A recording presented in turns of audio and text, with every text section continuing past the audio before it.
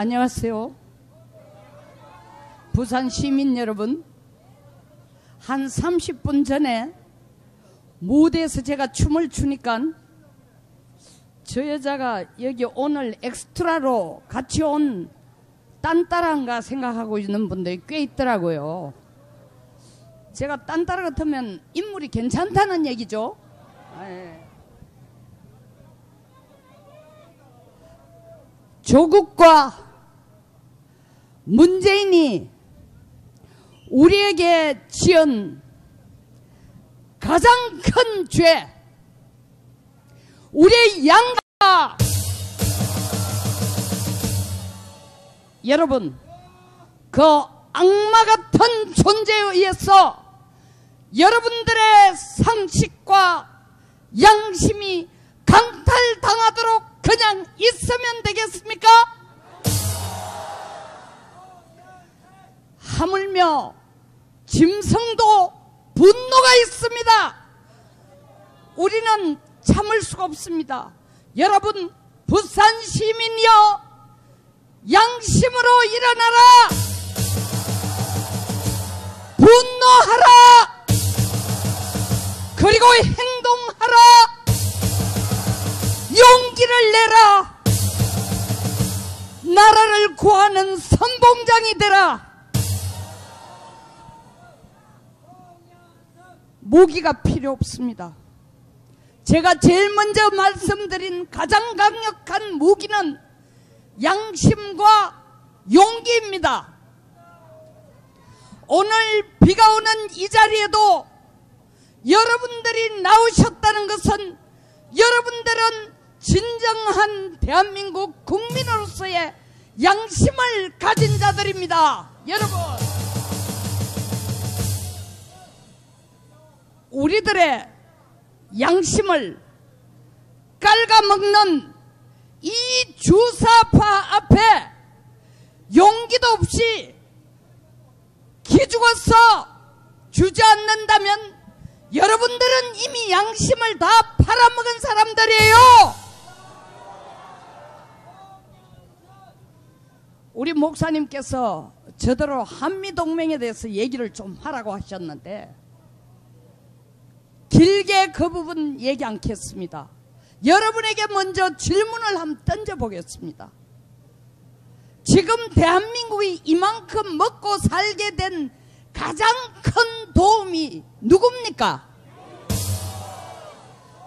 우리나라가 스스로 독립했다고 생각하는 분 손들어 보십시오. 누가 우리를 해방시켜 주셨습니까? 부산 시민들 정말 똑똑하십니다. 정말입니다. 일본으로부터 우리를 독립시켜 준 것은 미국입니다. 독립시켜 준 후 전 세계에서 가장 가난한 거짓대를 60년 만에 500배의 경제 성장을 해서 지금 전 세계 11위의 경제대국으로 만들어준 밑거름과 지원이 바로 미국입니다, 여러분. 주사파들 미국 나가라고 얘기하고 있어요. 야! 주사파 놈들! 네 자식은 사립고등 보내고 외고 보내고 이렇게 하면서 외고 없애라 그래요. 그 얘기 하려고 하고 있습니다. 자기 자식 태어나자마자 미국 보내, 일본 보내, 국적부터 바꿔! 마누라 원정 출산시켜! 그리고 미국 돈 빼가 돌려! 자원, 자본주의에, 그리고 자유시장 경제에 진짜 빨대 꽂아 단말 다, 단물 다 빼쳐먹은 놈들이 30년간 그들이 한 짓이 바로 주사파가 한 짓이 바로 제가 말씀드리는 이것입니다, 여러분. 우리는 가랑잎에 옷 젖는 줄 모르고 주변에서 공산주의 주사파 해도 설마 설마 하고 여기까지 와버린 겁니다, 여러분. 그러다가 이제 본격적으로 문재인 대통령이 조국이라는 아까 우리 신장군이 듣도 보도 못했다 했는 초법, 위법, 탈법, 법무부 장관이 아닌 무법 장관을 법무부 장관으로 임명했습니다. 이것이 주사파가 끝까지 이 나라를 다 먹고 그것도 모자라 김정은에게 갖다 바치고 미군을 내보내려고 하는 겁니다, 여러분! 대한민국은 대한민국 경제의 70%가 무역에 의해 먹고 살고 있습니다. 우리는 미국이 우리가 무역할 수 있도록 해상 교통로를 지켜주지 않으면 중국이 그 해상 교통로를 어느 날 갑자기 배가 지나간데 통행료 내라 못 지나간다 이거 중국 땅이다 라고 막으면 지금 우리를 도와줄 수 있는 나라는 미국밖에 없습니다 여러분. 근데 이 정부는 반일 감정을 조장해 친북 감정을 조장해 친중 감정을 조장해 반미 감정을 조장해서 내년 총선에서 이기려고 합니다. 절대로 용서해서 안 되겠죠? 그런데 우리 우파 중에도 어리석은 국민들 반일에 동참을 하면서 김치 국물을 일제차에 들어붓고 그런다고 우리 수출이 늘어납니까? 그런 바보 짓을 왜 합니까? 그리고 미국이 작전권을 빨리 가지고 가려고 하는 데 대해서 우리 보수들이 일어나서 절대로 미국은 이 나라를 떠나면 안 된다고 소리쳐 줘야 합니다, 여러분. 애국이 따로 없습니다. 그게 바로 애국이고 그게 여러분들이 문재인보다 머리가 좋다는 증거입니다, 여러분. 지금 유엔을 갔어요. 문재인이. 말은 트럼프 만나러 갔지만 누구 만나러 갔어요?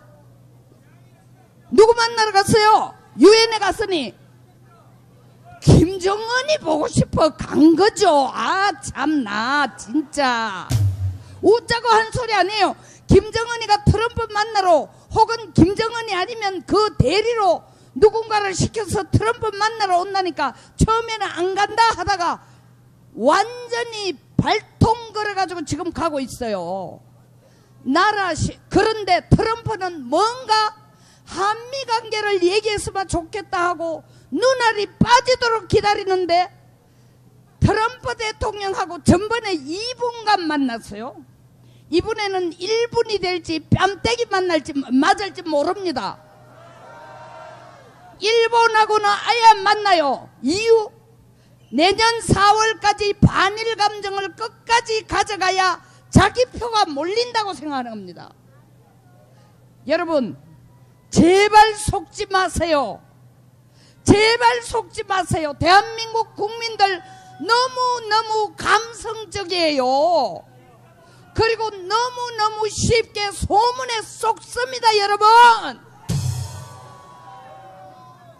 조국을 끌어내리려고 하는 것은 고구마 문재인 자기가 고구마라 그래서 고구마 문재인에 붙어있는 고구마 줄기에 첫 줄기를 잡아 당기는 겁니다. 그 뒤에 주렁주렁 주렁 주렁 주렁 붙었어요. 이 인간들이 다 주사파야. 여러분 이번에 조국과 문재인을 끌어내리지 않으면 대한민국은 끝장이 납니다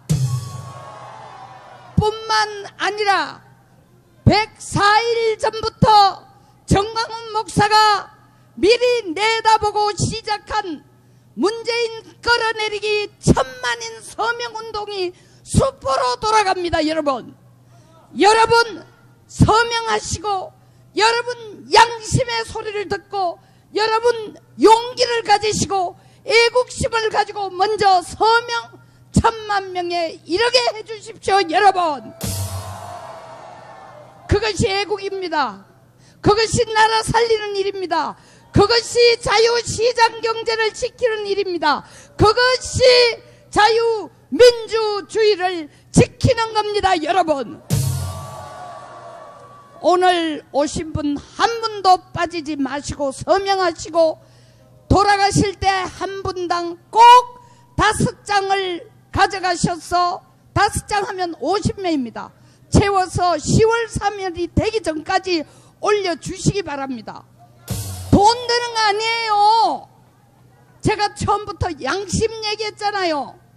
행동하지 않는 양심은 사기입니다. 사기! 마지막으로 구호하고 끝내겠습니다. 제가 문재인 하면 하야하라 하야하라 하야하라 세 번. 아, 조국하면 감옥으로 감옥으로 감옥으로 세 번입니다. 우리는 점잖기 때문에 안 쳐죽여도 알아서 겁이 나서 우리가 천만인 서명하마 오줌 싸면서 내려올 겁니다. 자 문재인 하야하라 하야하라 하야하라 조국